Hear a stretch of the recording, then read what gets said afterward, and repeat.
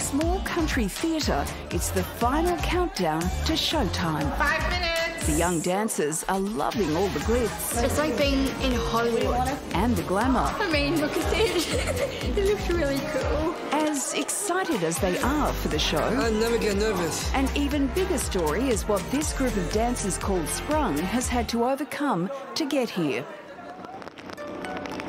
Sprung's office and rehearsal space was on the ground floor of the Northern Rivers Performing Arts Centre. The big Lismore flood in late February destroyed pretty much everything they owned. It was like a bomb had gone off in the building. One of the advantages of being a small company with very few assets is we didn't have a lot to lose in terms of equipment. Um, what we did have is the talent of our performers to work with. So they moved all that talent 30 kilometres east to a scout hall in Ballina. The decision to push ahead followed some deep soul searching by director Kate McDowell. What is the response to a flood like this? What is the response when you've got, you know, all of your friends and families having just lost everything? And I guess we just decided that this is what we can do. This is what we can do in the moment of so much destruction is to bring joy. So the dog's gonna bark. For 10 years, the community based theatre company has helped young adults with disabilities pursue a professional career in dance. My disability is Down syndrome. I get uptight with time. I like to be there early and not be rushed. Tara Coughlin is practicing her big solo scene. And Go for it, Alice. She wants to recreate one of her favourite moments. From the movie Flashdance. For a young woman who's always felt like she's been seen differently, to get to own that role of being the absolute sex bomb, why not create that opportunity for her to be able to play that role? My character is named Sophie. Sophie is a character who likes to be sexy and hot, and she likes to be fabulous. I love that aspect of Sprung that allows them to take something within themselves that they want to express in a bigger, wider way. Tara's dad, Frank, remembers when attitudes towards Down syndrome were very different. A family in his village in Ireland kept their child hidden away. And it only came out years later that they were so ashamed of that child that they weren't prepared to show the child in, in society. Tara wanted us to ask her dad what it was like to raise someone with Down syndrome. Uh, absolutely delightful.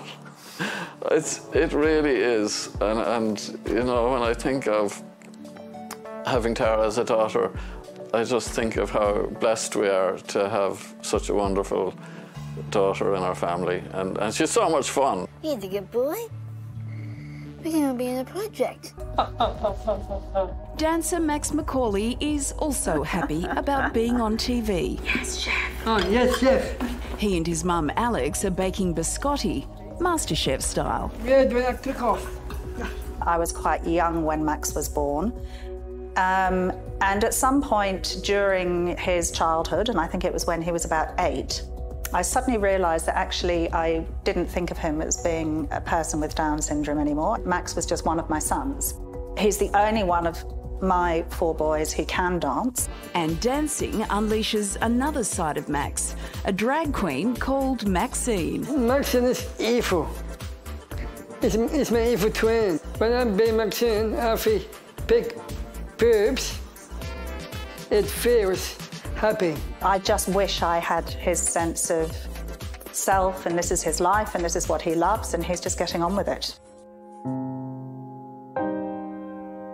One of Sprung's most acclaimed shows, called Oh, How I Dreamt of Things Impossible, was dreamt up during COVID.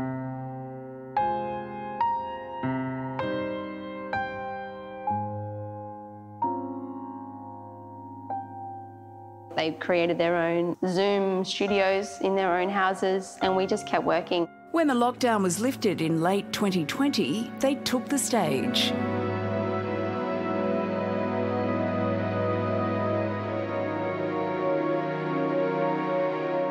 I can feel, the music inside my skin and my body. I love being on stage the most because I'm always a superstar. It's emotional for me because when I feel like dancing, I feel like it makes me cry.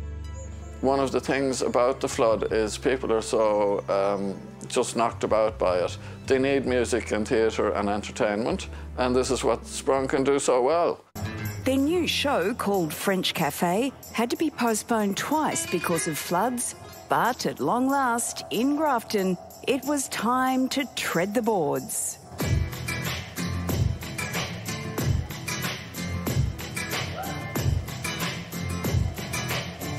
The French Cafe is a rather spicy place and very cheeky.